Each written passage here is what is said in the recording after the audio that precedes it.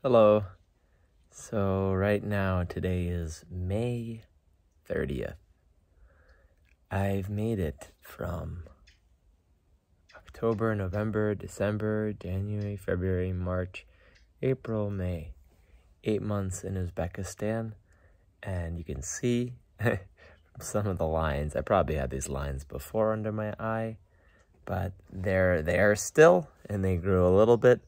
But at the same time, my heart is filled with a high degree of gratitude to be able to have the opportunity to work in Uzbekistan for the past eight months. I'm presently sitting by a garden.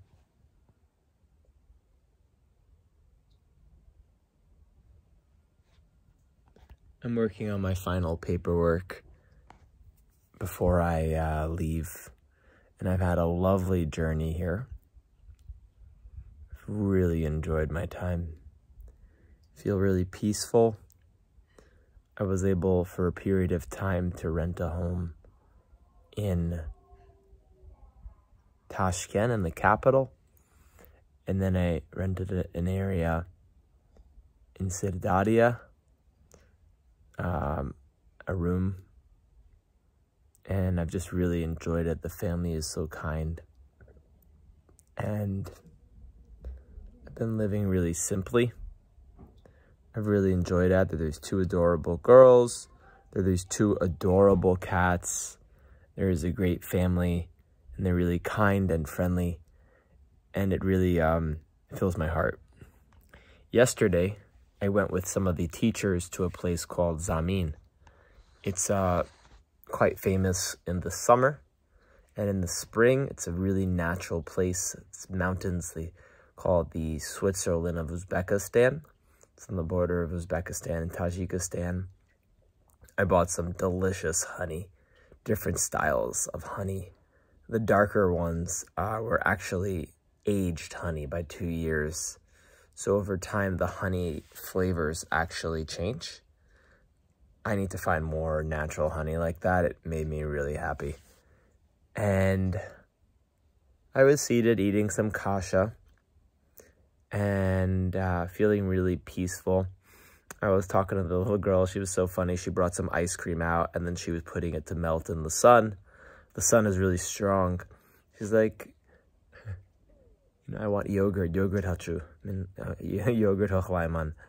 In terms of Uzbek, um, I'm definitely more at ease with Russian than Uzbek, but what I'm able to express for basic conversational purposes, as long as people talk relatively slowly, I can understand things through context usually for Uzbek as well. I want to learn more grammar. I did the best I could do. Didn't sit down and just calmly understand all the grammar points, but it's hard to do that.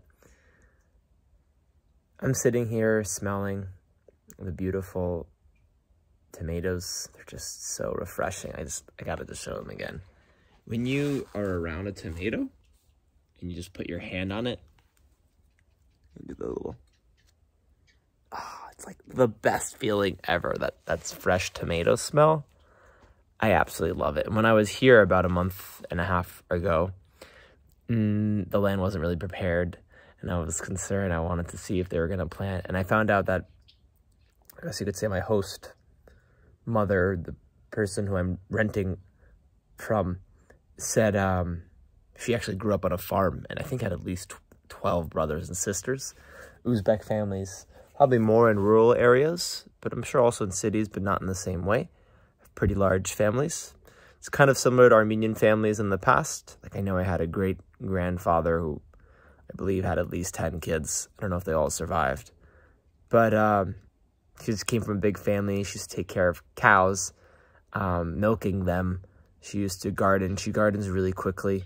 In terms of removing all the weeds, it takes me quite longer, and I always seem to leave little bits around. And she's really quick at it. And I'd have to say that I really appreciate Sirdarya. It's not a tourist place, but the reason I appreciate is that I appreciate the fact that it's just authentic there's a certain village feel to it, even though it's obviously a city. Gulistan Sirdarya is a region Gulistan is a city. But I've really appreciated spending time going to schools. I went to this final event at um, Bayut 2. It was at a school of a teacher named Ildor. And they ring bells to kind of commemorate the end of the year.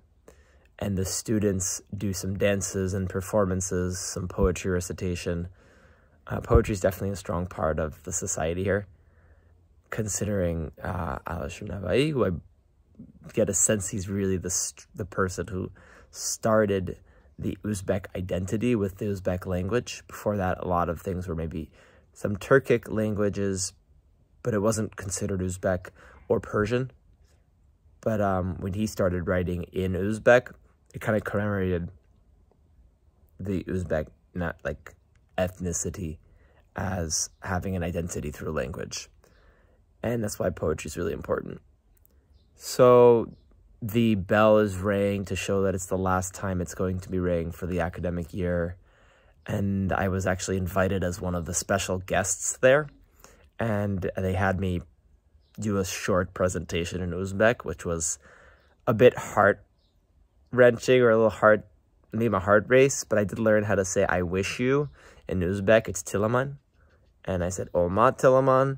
I'm wishing you uh, success. No, Omat is luck. Success is Muvafakiyat. Muvafakiyat Tilaman. Um, Yashla Kelajak says, Kelajak, you know, future Tilaman. So these kind of my attempts at trying to say those are interesting in, in, in front of a group of maybe 150 people. Old school was there. It's a smaller school in a smaller town. And then I, I got the great opportunity to meet with the Doira teacher. He's a drum instructor, and he's actually lived in Russia before. And we did a performance together. I absolutely have loved every moment that I've been able to been given to perform with local performers. I want to contact my friend who works as a, a music producer and say, you know, this is my last couple of days here can I come record some music with you? Can we maybe invite some people and do some, you know, collaborations? It may or may not happen.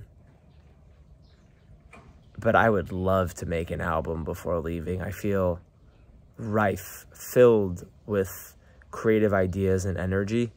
Sometimes I return to the same imagery over and over, but part of the creative process is knowing that you're not in control is knowing that you are, in fact,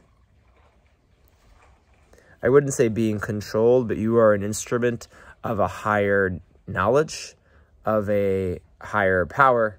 You can add it to spiritual element or not, but the idea is that when you're creating, you are taking elements that may be all known, right? I know the word the, I know the word plant, but when I combine them in a new way, the plant, my eyes slant. I can or I can't. I try to believe what I breathe, and my heart will conceive what it can and what it can't. I will forget as I just do you my best. So, like, you take old elements and you create them in new ways. Oh, a little voice there. And I just love doing that. It's really creative and inspiring to me. So I did that with the Doira teacher. He drummed and I rapped. I can share a link of it below, and I just loved it. I want to continue to collaborate with other artists if possible before leaving the region. If I could make, you know, 10 songs, I'd be really proud. If I could make five songs, I'd be really proud.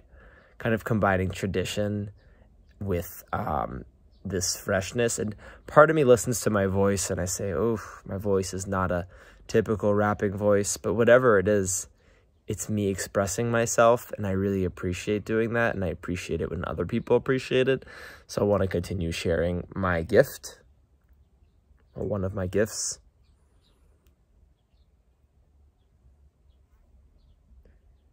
Yes. So this area, Sirdarya, used to be swamps maybe 70 years ago uh, during the Soviet Union. they kind of brought in a lot more water and they took a lot of the areas that were swamp or desert and they um, they started cultivating it for cotton and other products and um, a lot of people moved from other regions to this region so the majority of people are not originally from here if you go back two generations which is pretty interesting or maybe three because people get married relatively young when I say I'm above 30, they say, how could you not be married? How is that possible? It blows their minds. Often.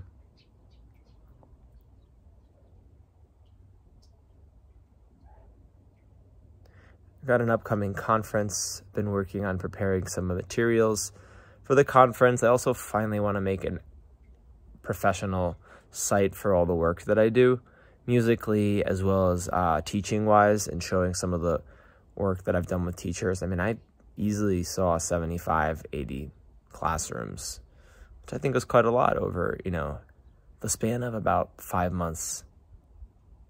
Yeah, because the first three months I was doing trainings in Tashkent.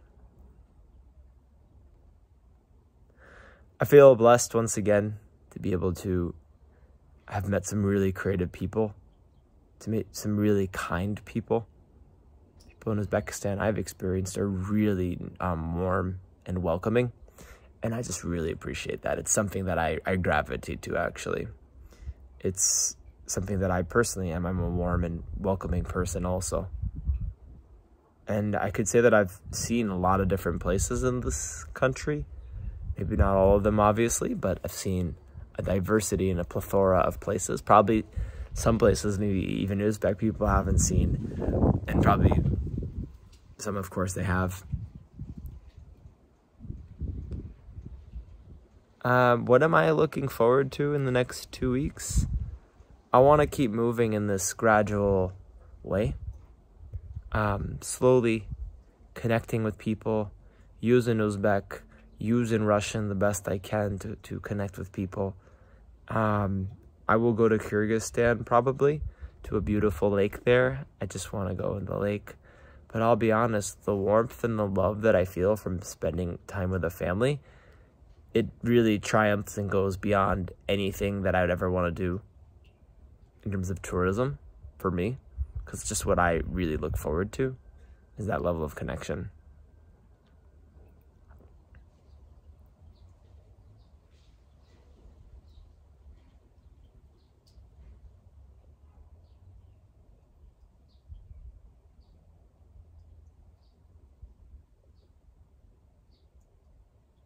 Yeah, I was just thinking and I said I need to record whatever I'm feeling right now because like every experience, nothing stays the same. Everything changes over time and we need to embrace that change, know it's part of life. We don't need to fight it.